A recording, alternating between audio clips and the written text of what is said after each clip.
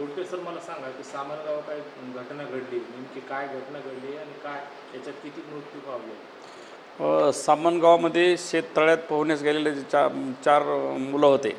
आणि तीन मुलं आणि एक मोठा व्यक्ती. असं चार लोकांचा मृत्यू झाला होता आणि त्यांना इथं सिव्हिल हॉस्पिटलमध्ये पोस्टमॉर्टमसाठी आणलेलं आहे आणि त्यांची नोंद वगैरे करून आता पोस्टमॉर्टम रूममध्ये त्यांना पाठवलेलं आहे.